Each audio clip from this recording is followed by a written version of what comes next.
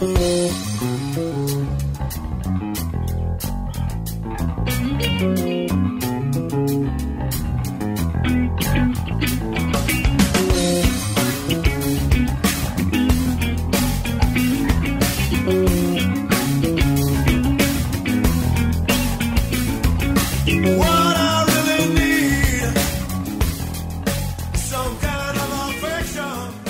Greetings, everyone. Richard Solomon here. This is a co production of RockItGreenRadio.com and Taking Care of Business. Today, Antonio Saillant and I have a great guest. It's Chris Moorman. And check out his website, RubiconAg.com. He's actually doing, he's pioneering something that is actually quite amazing. It's called the AgriBox. And welcome to the show, Chris. T- tell us all about the AgriBox and what you're trying to do, because I think this is one of the coolest ideas. And Antonio was the one when we were talking in pre-production that this is a breakthrough, you know, oh, agriculture idea. Well, guys, thanks for having me on. I really appreciate it. Um, yeah, so basically, we are taking uh, hydroponics and putting that in an upcycled uh, 40 foot refrigerated shipping container and we really think that this is kind of the uh, the next level of hyperlocal produce. Um, as we all know, you know California's got some pretty systemic water issues. They're pulling more out of the aquifer every year than they're than is coming down the Colorado River, um, as well as you know, given some of their labor issues as well. Uh, there's a lot of headwinds coming across uh, California produce, and unfortunately, produce about 52% of the nation's produce. It's about a 60 billion dollar a year industry. Um, obviously, hydroponics isn't going to be taking over the avocado market anytime soon, but there's a lot of addressable things that we really think that with our uh, manufacturing automation technology that we've put into the box, we really think we can uh, be a solution on a on a hyper local level for uh, for you know some of those leafy greens, some of those herbs, and uh, you know eventually a few more things. How much well, does this? Well, how much does this also tie into the decline of the bee population? Well, actually, we've got uh, we got some buddies who are in the uh, bumblebee rental business. Uh, one thing that I never thought I would actually be able to say with a straight face, but uh, you know, obviously the the hive collapse issue has become huge, um, and a lot of that's due to monoculture. I mean, we're here in Indiana, where you know I'm surrounded by farmland, but the only two things I see are beans and uh, and corn. Um, and you know, obviously that's uh, that's had some pretty negative impacts on the bee population at this right. point, we're kind of just hoping to not be uh, a part of that problem. Uh, obviously, in the box, we're not we're not inviting bees in. We might get one occasionally, but uh, we're just hoping to not be part of that problem. So, so I have to go to the beginning. And where was the aha moment when all this started? You know, when the lightning bolt struck, and you were like, "Hey!" I know how, how, how do you even think about something like this? That's what I want to know. How did you like? Gather the information and you go, wow, let me use this uh, cargo, you know, that that is usually used in shipping uh, as the idea to as a greenhouse. That's that's what, what your idea. That's what I want to know. Uh, well, boy, we got we got ourselves quite a story here. Um, we got an hour. So, actually, I, so. I actually used to be out by you guys in New York. I was a commodity trader for the first part of my career, and uh, trading trading in the oil pits and on the uh, gold and silver pits. So if there's anybody still down on the floor, uh, tell them I said hi. But oh, essentially, oh, by the way, did they did they I really kinda, did they really yell like they do on TV? Yeah. uh, my first my first day in the oil pit was the day after the uh, the guy self-immolated in Tunisia, setting off the Arab Spring.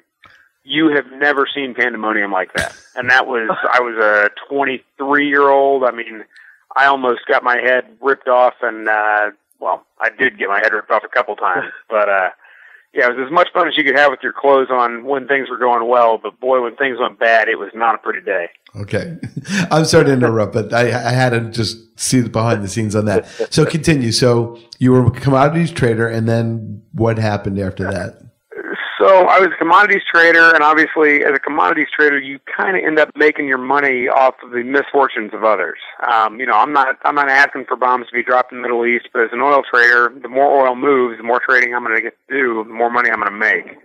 Um, eventually, that kind of wore on my soul, and that and a couple of other things. And I said, you know, this this life just isn't for me anymore. So I bought a one way plane ticket to Australia Um, wow. I'd lived with a I'd lived with an Aussie in uh, in Lower Manhattan in a in a sin bin in Tribeca for a couple of years, and he'd always talk about traveling together. So we ended up traveling around the world together. Um, started out in Australia, kind of moved through Southeast Asia. He kind of uh, went his own way and went to Ibiza for the season because it's a real rough life in uh, in the islands in Spain. But I ended up in Africa, and I ended up in Africa in Senegal during the middle of the Ebola crisis in 2014. You had to pick them. I, uh, my mother was not real pleased with my life decisions at that point. let me tell you. wow, but, that's um, crazy. Yeah, so you know, I kind of went on the walkabout, um, but I ended up in Senegal, and being the the ever-present economist, I kind of saw that you know Senegal and Vietnam were basically the same in per capita GDP uh, about five years before I was there. Since then, Vietnam kind of took off as an economic miracle, and Senegal stayed essentially where Senegal always stays. And the difference between that was basically a donkey and a moped. And when you kind of realize after spending that kind of time in the third world that life really boils down to four fundamental things. You need a place to lay your head you need clean water, you need food, and you need community. And I figure if we could get in the middle of one of those things, that we could probably do something pretty well. And you know, Mark Zuckerberg and the boys had the community thing pretty well sorted out, so I figured maybe food was where I'd go. Um, but even in Senegal, where a per capita GDP was about a thousand and fifty dollars a year when I was there, there were shipping wow. containers everywhere. And I said, listen, if there's a place this poor on earth that has shipping containers everywhere, there's got to be a use for this. Well, fast forward about two months, and I was in South Africa uh, having a bottle of wine going from Joburg over to Cape Town, and a guy who walked out of, I swear to God, a Dickens novel, uh, started telling me he was building homes out of shipping containers. So it was a 27 hour train ride. We had plenty of time to discuss this uh, at, at length and probably past the length I wanted to but I kept kind of thinking, you know, there's something about shipping containers. There, there's got to be a use for them, especially because they're kind of the backbone of a global economy. What if you could make the back that the backbone of a local economy? Um, so I get back, not really sure what I'm going to do. My brother had just gotten out of the Navy, where he was a nuclear engineer on a submarine, which is essentially one big closed circuit water system. Uh, I started living with him back in Indianapolis.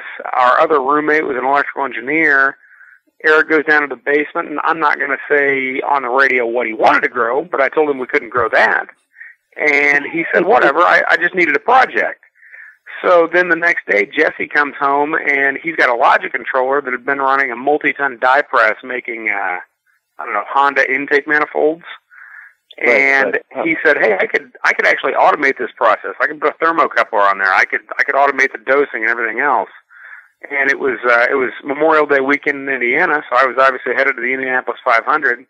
And I came back that weekend and said, "Boys, if I find some money, can we make this a business?" And they said yes. Wow! So I I want to just go back to one thing you said, which is fascinating. Why was there an abundance of shipping containers in a third world country? Why? Why would there be so many? And why wouldn't they just be recycled or reused or or something? Uh, that's an excellent question about resource utilization that uh, we might be even past the hour if we wanted to go down that rat hole. But, um, you know, the port of Dakar is basically the major incoming port in West Africa. Because, you know, uh, for the listeners who might not know where Senegal is, it's essentially, if you looked at the, uh, if you look at the bulge of Africa pointing back towards the U.S., it's basically nine o'clock. Okay. So that's kind of the first place that any sort of uh, manufactured good from the outside world was going to come in. And I think it was just, you know, goods came in, whether that be uh, charitable donations or, or, you know, manufactured goods for the economy. And I just don't think there was enough uh, manufacturing activity in Senegal just by sending those containers back out. So they essentially just kind of accumulated in the port of Dakar. And they, they weren't worth enough to just ship back to be reused for some other purpose? Not really. I mean, right now I can get a container, I can get an un, uh, uninsulated container delivered to our place for a little less than two grand, which that price has actually dropped 25% in the last six months, which does not say anything good about the economy in my opinion, but what do I know? What, what, uh, what is the that's lifespan? Still a lot of money, though. That's still two grand. I, I mean, for something. Yeah, but if you're putting it, if you're putting it empty on a ship, you you know that's it's got to go somewhere. There's a cost of getting it back off. I, right, I don't know. Right. I mean, there's a lot of what they call single run containers come out of China, where these containers will be built in China, and they will have one run from China to the U.S., and then they will never be put back in the global supply chain again. I mean, wow. that's kind of these are looked at as disposable, which is crazy considering what they really are. Uh, what is the lifespan supposedly of a container if it's actually reused?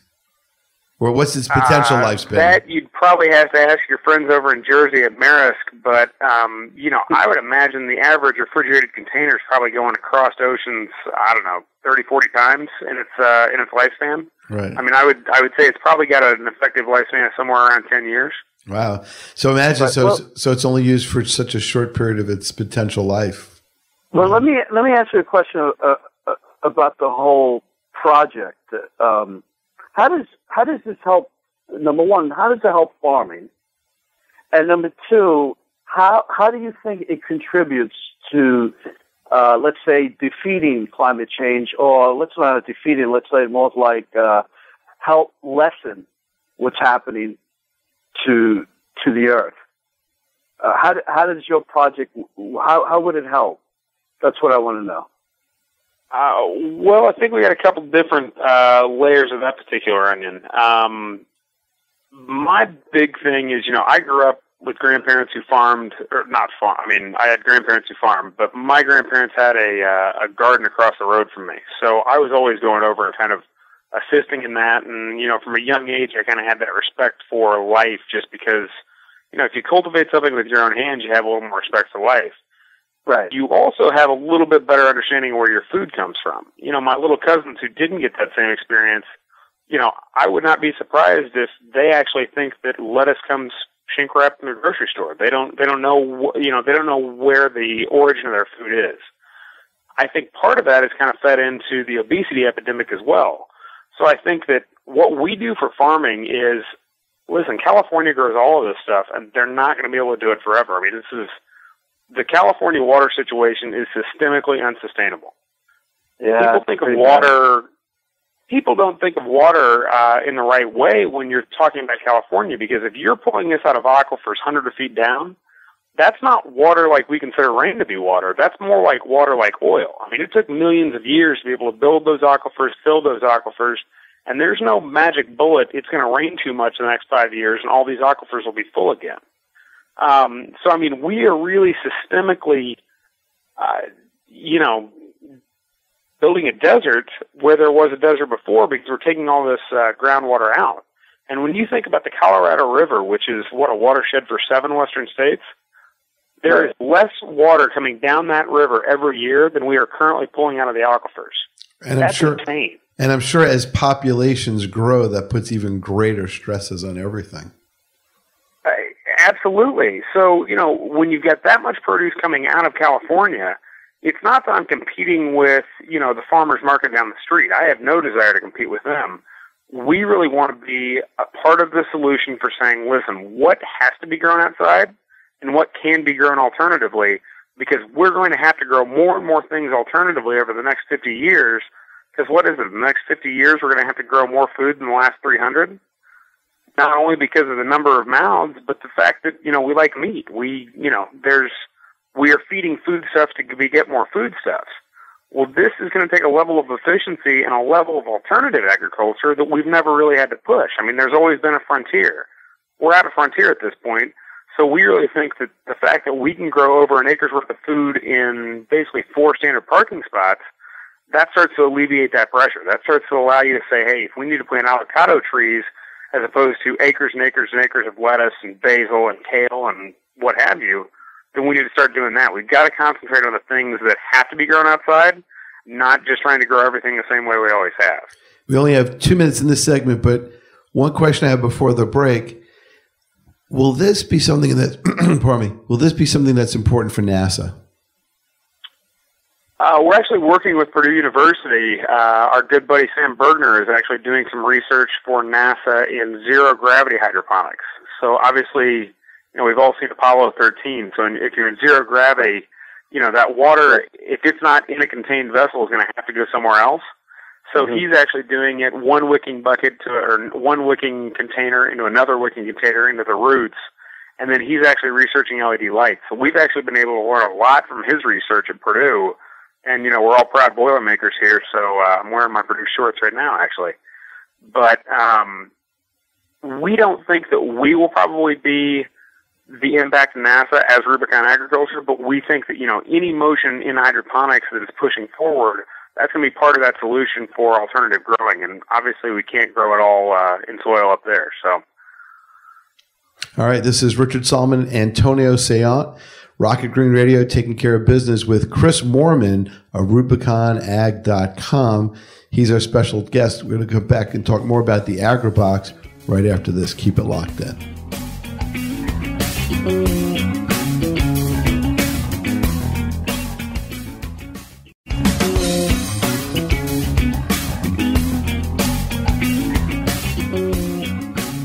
Welcome back. Richard Solomon, Taking Care of Business, Rock It Green Radio co production.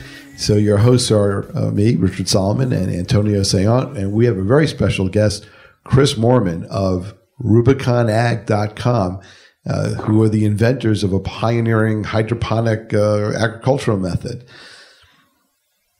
So, Chris, the AgriBox, explain to me now. This is uh, the the whole idea of it is is it just based on local farming, or are you going to take this idea and teach it uh, to local schools or nationwide? What are your plans with this? And explain a little bit more about what exactly what it is and how it's going to help the environment, not just farming, but everyone, actually. All right. Well, uh, yeah. So the AgriBox, like I said, is uh, you know a 40 foot refrigerated shipping container. So this is something that has probably made you know 30 to 40 cross ocean journeys bringing your food to you. Um, you know this is where your bananas are coming in. This is where your avocados are coming in. I mean these are these really are the backbone of the uh, global food supply chain. Anything that you're shipping, it's not dry and can rot. You know, they're throwing the refrigerated unit on this and they're kind of bringing it to you. Um, so we're excited to kind of use that as a global piece of uh, the food supply chain and make it more of a hyper local piece. But essentially, what we do at that point is we install the hydroponic systems, but then we go a step further and we put in our proprietary integrated control system we're really excited about that because we think that, you know, obviously if you're in a field, you're going to have all of the vagaries of the weather. I mean, for 10,000 years of human agriculture, um, you know, the, the weather is what the weather's going to be. You, there's no controlling that. Inside the AgriBox, you really do kind of have that godlike control, um, and allowing you to be able to change almost every variable. So right now we're controlling for 13 total variables, and that can be anything from CO2 in the atmosphere to uh, water temperature to pH, electrical conductivity, you know, even the spectrum of light that gets to the plants. So to have right, that kind of control, we think that the more growth cycles we're going to be able to have, the closer we're going to be able to say, hey, here are the absolute perfect conditions for, you know, Nero di Toscano tail, or kale, or, uh, you know, Genovese red basil. You know, the more data we're collecting on this, the more we're basically going to be able to have a plug and play recipe to be able to say, hey, here it goes. We've got a hundred growth cycles worth of data, and this is how it grows best. So we're really excited about that to be able to um, to bring agriculture to a non-traditional farmer. We actually just shipped our first box to a, a high school in Omaha, Nebraska, and we're really excited about the AgriBox L3. Um, that's kind of an homage to our preschool, but it was the Living Learning Lab. And wow. we really do think that this AgriBox is a living learning lab um, you know, it kind of allows students to engage in cross-disciplinary STEAM education. And you know, I got I got nothing against the arts, but I think ag fits a little better with STEM education than uh, than sure, do. So Purdue and I are trying to push that. Um, but you know, these kids are going to be engaging. Uh, you know, physics. You know, what is the workflow of the pump getting the water up to the hydroponic surface? Um, you know, what what kind of uh, light distribution do you have you know, obviously you're going to have more concentrated light on the perpendicular than you are on the edge, um, right. you know, just because light degrades over space. We want kids thinking about all of these problems. we want, uh, you know, we want kids of varying academic abilities to be able to say, hey, we're all pulling, pulling the oar in the same direction. We all have a horse in this race. So, you know, your higher achieving kids are going to be pulling the, uh, the data off of the integrated control system, kind of learning how to manipulate that data in Excel. Maybe your, maybe your kids that struggle a little bit more with the academics are able to do something a little more hands-on. You know, what happens if I see end rot in one of these, uh, heads of lettuce or, you know, why sure. why is this tomato plant not flowering at the same rate the one next door is? You know, we really want everyone to kind of be able to say, hey, I've got a role in this.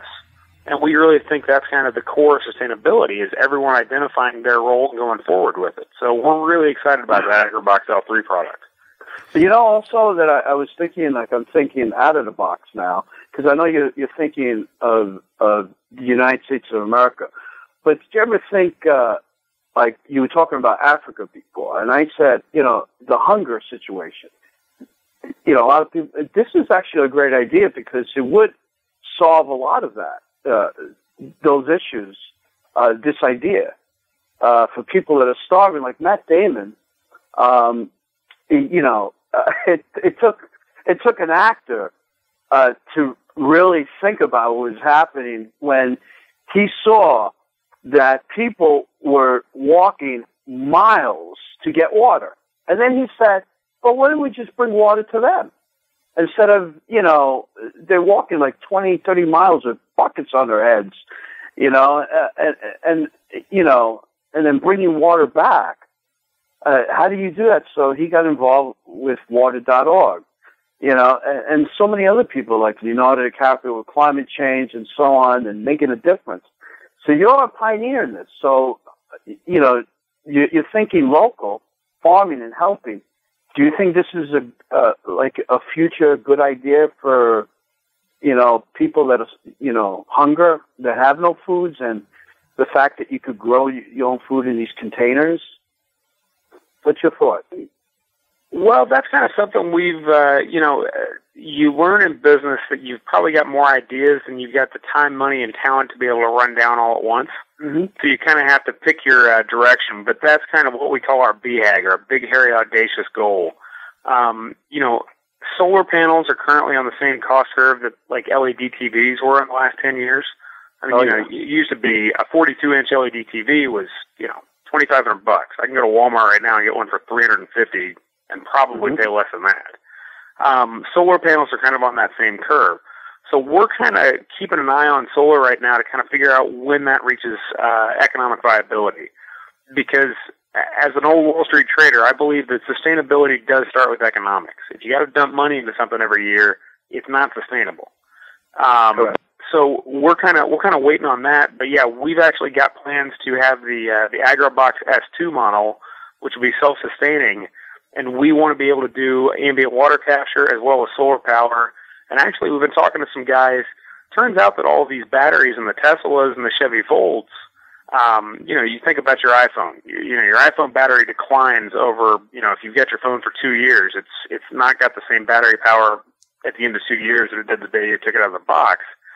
Basically, the uh, the big batteries that are running these Volts and Teslas and other electric cars are the same way.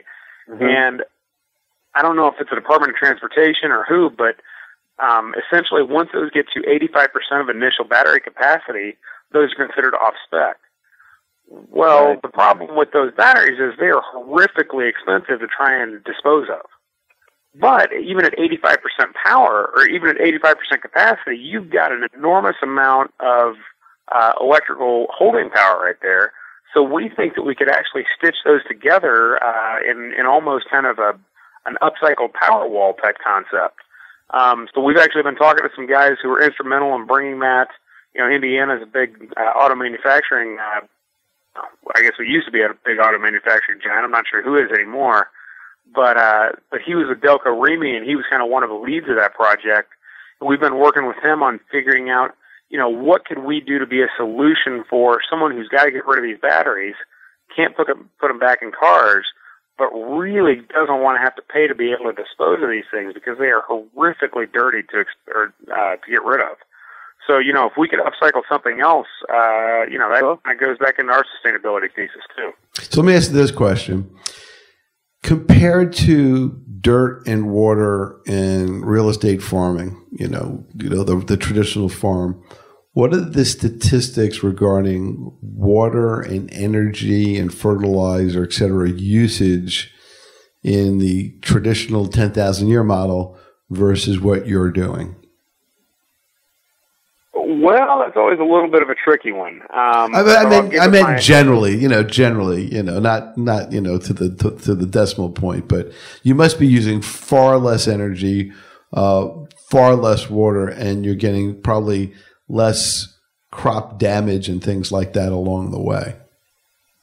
Yeah, so a few of the uh, a few of the statistics that we like to kind of run with, and these are USDA statistics, is that 40% of all horticultural crops are spoiled in the United States. Now, there's a variety of reasons for that, but you know, I'm I'm sitting here in Indiana. I mean, you guys are in New York right now, but Antonio might be going back to California tomorrow. Mm-hmm. You know, mm-hmm. you think about the fact that that's 2,000 miles. That supply chain. The average oh, yeah. piece of produce is changing hands seven times between when it comes out of the field and when it gets to my fork here in Indiana. That's crazy. And I mean, you know, it doesn't take doesn't take a very high amount of uh, of air in any one of those hands to really add up by the end. So we're wasting almost 40% of all horticultural goods. That's insane. The other thing is you got to think about, you know, when I would go over to my grandmother's garden and I'd go pick something out of there, I got to pick that at peak ripeness. You know, I get trained as to, you know, hey, don't pick the tomato too early, don't pick the cucumber too late. But I get to pick out at peak ripeness. If you're about to ship something for three or four days across the country, you've got to pick that early. So that also lacks in the finishing nutrients. That lacks, uh, you know, we actually think that we're going to be able to have more um, uh, nutritious produce because our supply chain is going to be so much tighter than the traditional snip, ship, and pray model coming out of California. Um, water wise, we're using about 10% right now, and we actually think we're going to be able to drop that because we're working on uh, basically recirculating our uh, dehumidifier water out of our HVAC unit back into the system.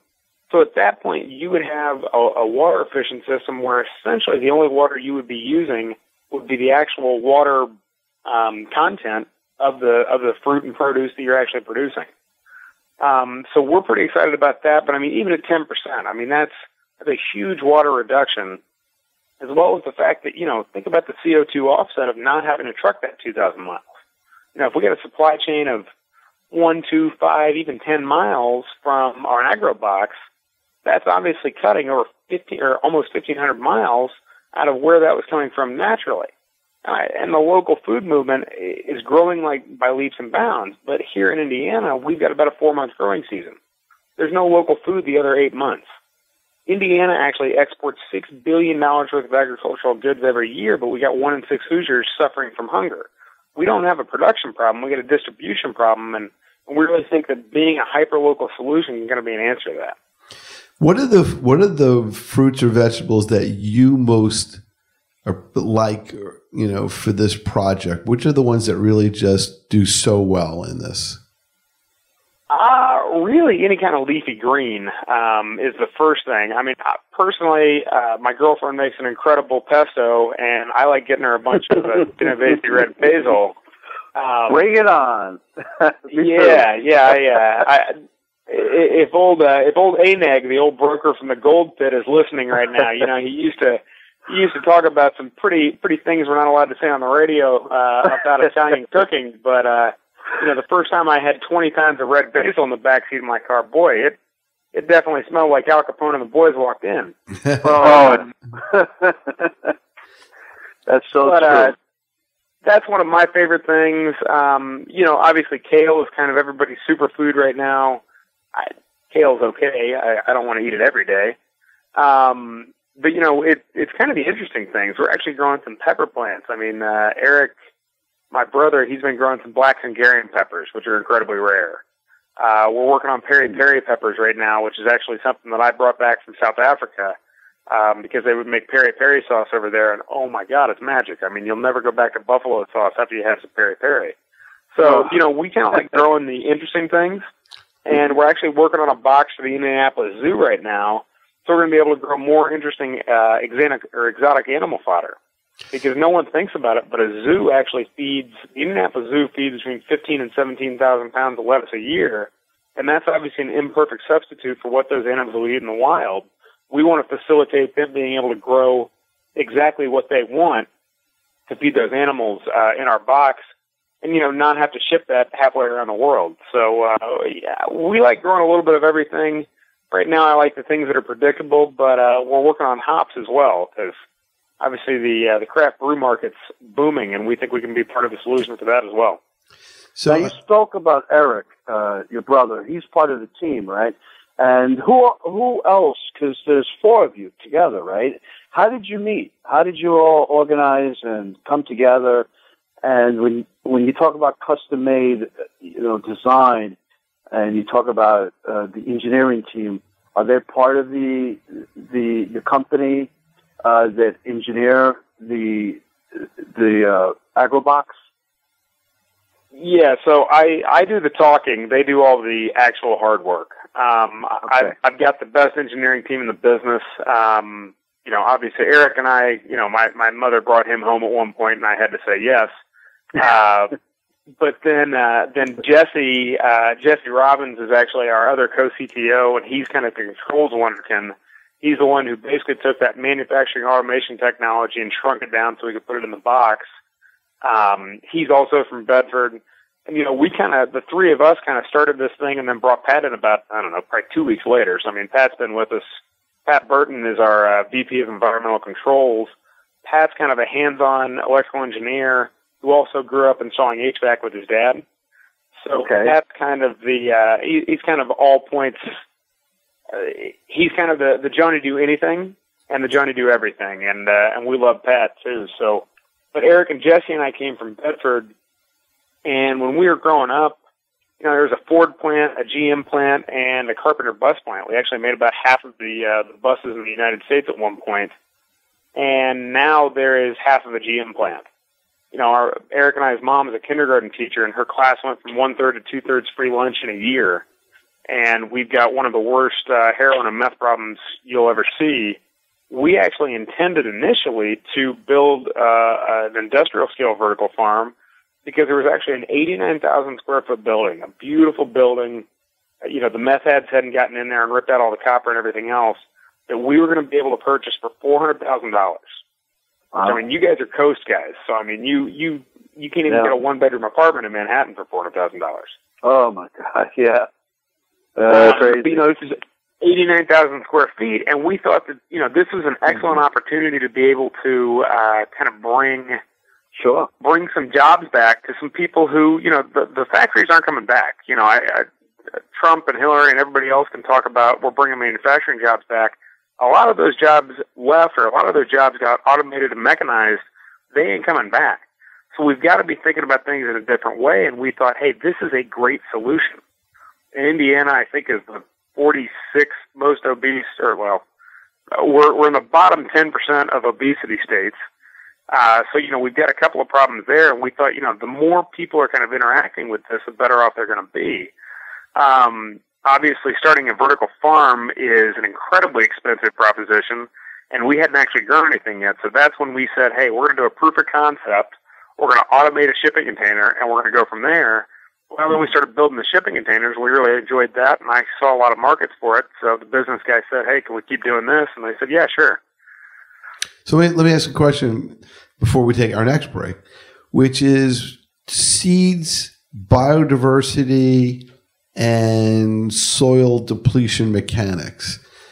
I assume one of the things that is the end result of what you're doing is you're helping to have more diversity of food in general, especially in places where the same things tend to be done to the soil over and over again, and that kind of causes soil erosion.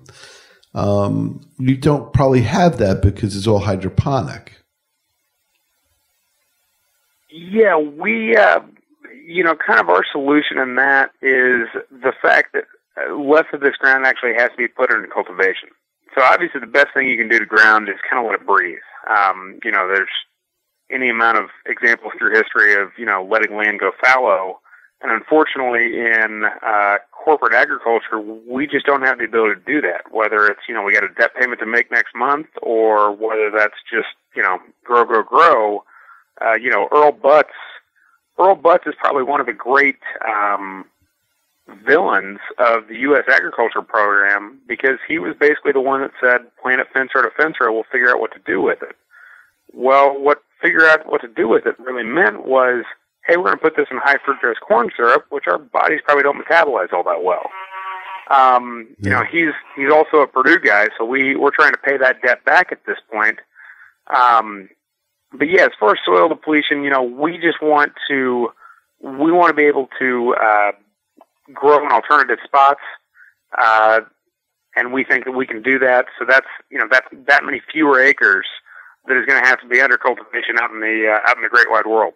All right. This is Richard Solomon, Antonio Saillant, and Chris Moorman, RubiconAg.com. We come back. I want to ask him how he got the name. We'll be right. Keep it locked here with Taking Care of Business and Rock It Green Radio. We'll be right back.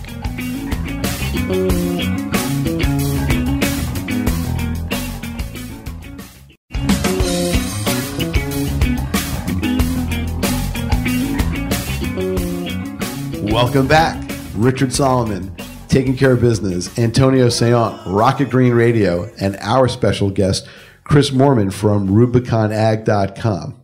Oh, but before, uh, I know that Antonio has a question, but how, how'd you get the name RubiconAg.com?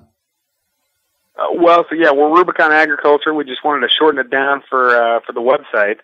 Um, but, but how'd you get Rubicon? Partners, what's that? Where did Rubicon come from?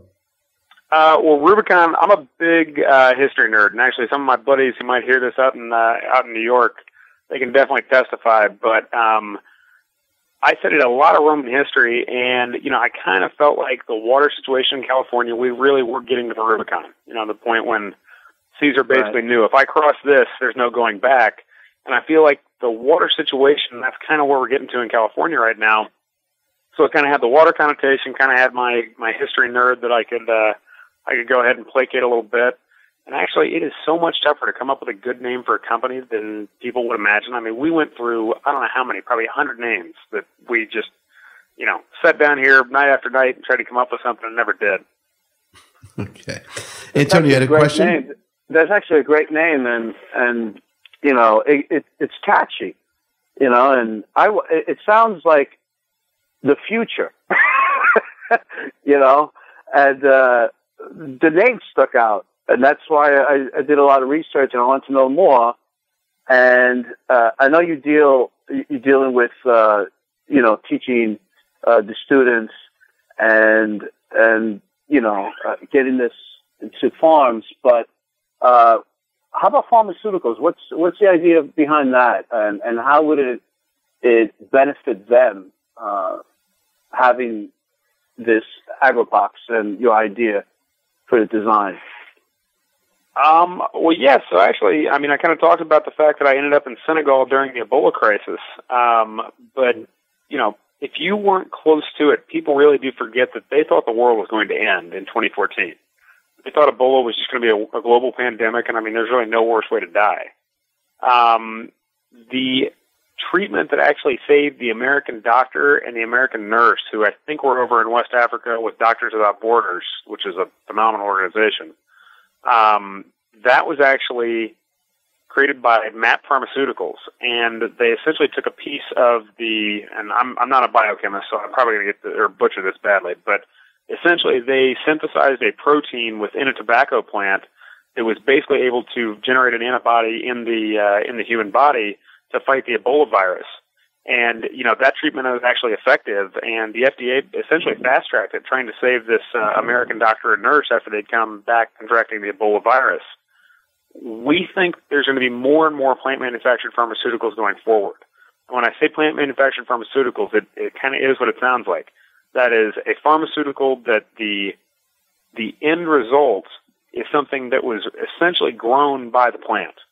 So it was kind of humans hands off after we've identified what gene or, or what uh, protein we're going to try and get this plant to make. You know, the plant actually manufactured it itself and then it's just processed. Well, you know, it kind of goes back to our education thing. We think we need more kids thinking at a young age about STEAM education. Um, and you know, when I say STEAM, I'm talking ag. Uh, you know, science, technology, engineering, agriculture, and manufacturing, or mathematics, uh, and manufacturing for that matter. But we really want to put kids in a position where even from a young age, they're able to understand, uh, you know, how plants grow. You know, understand that you can right. train a plant. You know, kind of like you can train a dog. You know, you want a tomato plant to do certain things, you can train it around, uh, you know, kind of a geographic space. Um, we think we need more and more kids thinking about that. In the plant manufactured pharmaceutical space, you know, the FDA is, uh, there's some tough customers. Uh, yeah. they, they don't like variability, and obviously with a living organism like a plant, you're going to naturally have that variability. What we want to do is be able to apply the integrated control system to that plant uh, growth process and be able to say, hey, listen, from seed to final cut, I can tell you everything that's actually come in contact with that plant, whether it's the CO2 levels or how much nitrogen was this plant given, how much calcium was this plant given, you know, what was the what was the light structure, you know, what kind of pathogens were in the air. The nice thing about our control system is we can essentially put an analog uh, sensor on for anything that we can then communicate everything into a central hub. So we really think that we could be a great solution for some of that early base science trying to figure out what plants could be the next uh, next manufacturing units for you know a common flu or a, you know a common sure. cold or anything else. You know, we think that there's going to be more and more research done on this, and we really want to be the solution for the the scientists tinkering in our lab, being able to say, hey, let's go out to the agro box, let's go ahead and throw a few of these plants in here, and let's see what these plants actually synthesize as far as protein. So we're really excited about that going forward.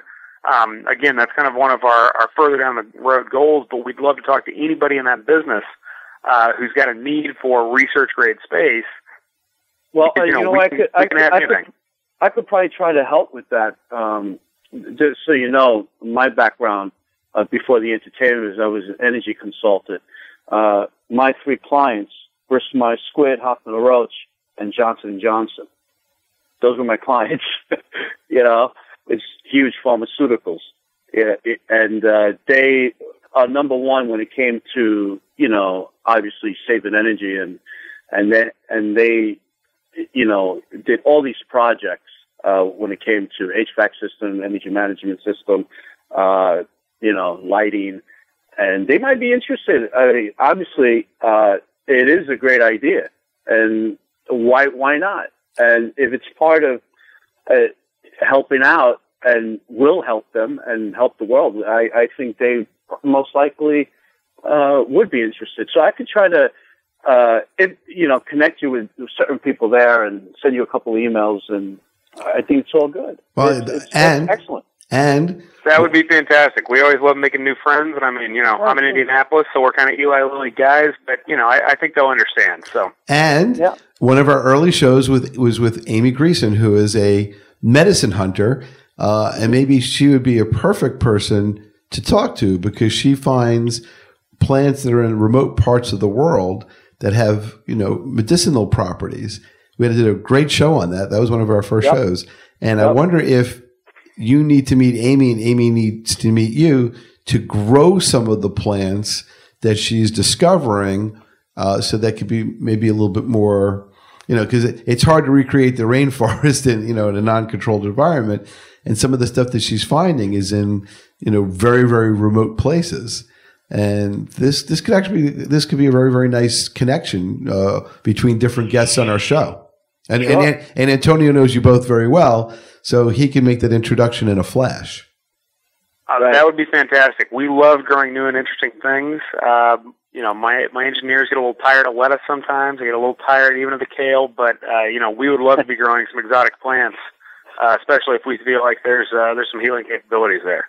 Well, yeah, because what Amy does for a living is she goes to remote places and finds the the medicine men, you know, the shamans, and finds out what they use locally to treat all kinds of disease, and then because she's a pharmacist by trade and and, mm-hmm. and and she's sort of a naturist as well because she goes into all of these you know remote biospheres and and finds the plants that really are are medicinal you know based and if we were to take her knowledge and your technology and put them together that might be a way to sort of produce you know here what is needed and grown somewhere very very far away I know. fantastic. We'd love. you know, and it's you know she she just came back from the Congo, and uh, just just to give you a short story, she was arrested a few times because she had drones, and they didn't know what the hell that was in the air, and uh, it, you know it, it it it got a little scary there, you know. But she goes to places that you and I, uh, you know, would not go, and it's very dangerous if you don't have a guide and and because they don't know what a camera is, they don't know the equipment that we carry and it may be threatening to them and you know, because they don't they don't live with cell phones and TVs and the, the kind of world that we live in. It's it's a tribe, yeah. and we, they have their own culture. Right, which is why they also have botanicals that are still you know rare and unique and. Uh, right. Uh, you know, right. and and possibly it's, it's the amazing cure. what kind of biodiversity you get when you're not spraying herbicides all over everything. Oh yeah. Yeah. Oh, yeah. Well, well, very, very interesting indeed. We'll we'll give you the link to that show, but but I think Antonio could put you guys together. I think that could be a very exciting sure. byproduct of the radio experience here. Chris, it's uh, what what you gentlemen are doing. It's just completely amazing to me. And Austin, you know, Castle from Red Giant Union, who brought me, uh, made me aware of you. Uh, it, it, I had to have you on the show because the whole point of Rock It Green uh, radio is to bring people like you so the world uh, learns uh, what's happening around, uh, you know, our community, and hoping that people learn and spread it worldwide. And it's just, you know, because I try to think not just about the United States of America, I try to think globally. You know, how, how can this help the world? Because even if we did our thing, it doesn't help with climate change because it has to be a global effort, unity amongst all nations. You know, and I, I think that's why you have people like Leonardo DiCaprio and Robert Redford that go around the world uh, preaching, uh, doing films, documentaries, uh, and spreading it around because it's something that has to be addressed. And it has to be addressed not tomorrow. It has to be addressed now and today. So your idea is very interesting, and uh, and uh, you know, I I wish you a lot of luck with it. And it's not luck because I think it's uh, already taken off, and I think you you gentlemen are going to do great in this in, in this idea, and it's fantastic. Hey, Chris, what what's the difference between the AgriBox and a greenhouse? Well, so a greenhouse is going to be uh, taking in some of that uh, natural sunlight and then trying to supplement it or kind of just dealing with the fact that you've, you know, obviously in the wintertime you're getting less sunlight than you would be in the summertime, um, as well as a lower quality of light, whereas we are totally artificially uh, lit. Um, you know, using LEDs, kind of the, the the leaps and bounds we've made in LED technology over the past 10 years kind of make us possible um, without, you know, having to use kind of, you know, the cannabis guys have been using the big high pressure sodiums for years and those uh, those suckers are hot. Um, there's a lot of heat. So I mean, what we do is not it would not be possible if it were not uh, for LEDs. But yeah, we've we've really got absolute control 100% of the time, whereas greenhouses still do have some of that variability, given the fact that they're trying to use natural light. What what is the next technological hurdle that you guys want to get over that can get you to the next step that you're not at yet? I mean, I, we always need better lights. Um, so if anybody out there is listening and thinks they've got a great LED grow light, um, you know, we are always looking because we know there's a better solution out there. Um, right now, it's kind of a, a balancing of cost and capability. Um, I would say the next thing past that is, you know, we we we're kind of starting out in the box business, but we really do want to end up being the um, kind of the integration solution for some of these vertical farms.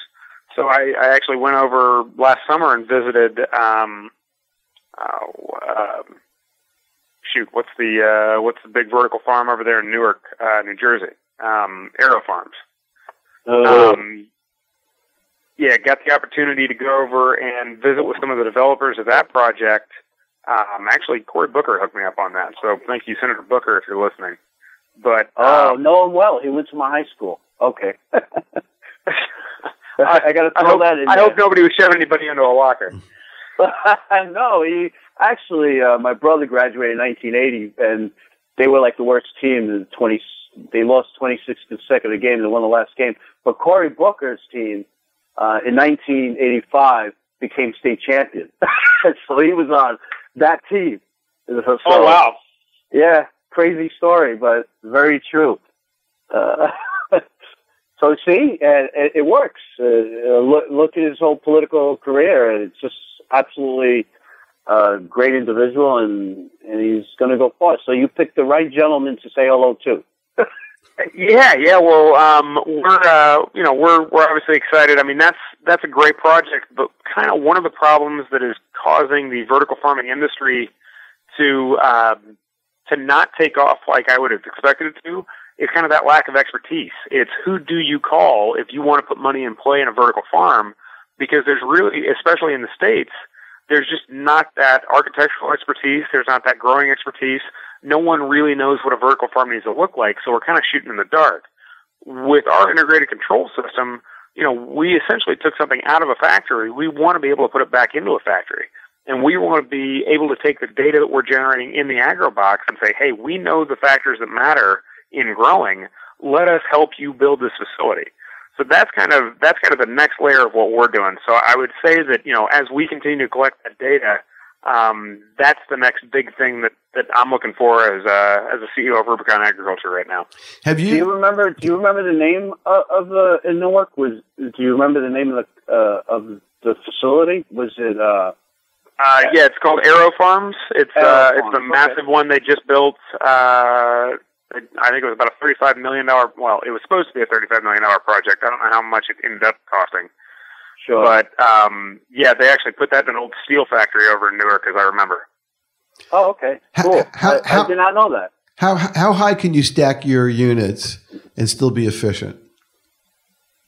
Uh, I mean, still be efficient. Really, the, the the efficiency wouldn't really change for us depending on how high. I mean, I think that these containers are rated to stack five high. Okay. um, it, at that point, it just kind of becomes an issue of how am I getting produce from uh, you know 40 feet in the air down to the ground. Um, you know, if, if somebody wanted to stack a bunch of these up, I mean that's that's not that big of a problem. They make they make lists for about everything. Uh, how many how many have you had? What is the the greatest number you've done so far in terms of So you know we're we're only a year old, so uh, we we've only got one in three different locations right now. Um, you know, two of those school units, one of those is our R and D unit here at the barn. Um, so we have not stacked them yet. Uh, I mean, we know we can. These are these boxes were literally made to be stacked. We just haven't uh, haven't had the application yet. All right, in the last minute, yeah, any any fundraising issues or anything that you want to bring to the surface because we only have like one minute. Hey, you know, as a as a startup, uh, we're always looking for money. We're, but more than that, we we've kind of gotten the money piece figured out. We're looking for strategic partners who also want to invest. Um, so you know, anybody with expertise or anybody who really thinks they can help us open up a sales channel, whether that's in schools, plant manufacturing, pharmaceuticals, what have you, um, we'd love to talk to you. So yeah, please uh, reach out. Um, C Moorman at RubiconAg.com. That's M O O R M A N. Um, but yeah, we're we're always looking to make new friends. Uh, it's a great industry. We feel like there's a lot of opportunity, and uh, you know, unfortunately, the the incumbent is without water. And uh, as any history buff will tell you, if your opponent's without water, you don't need to attack. You just need to wait. So All right. we're uh, we're kind of working on that right now. All right. So with that, uh, Antonio and I would like to say thank you for being a part of the show. This is Richard Solomon with Antonio Saillant. That was Chris Moorman of RubiconAg.com. We'll be back next week. Thanks for listening and keep it locked here uh, from week to week. We'll see you soon.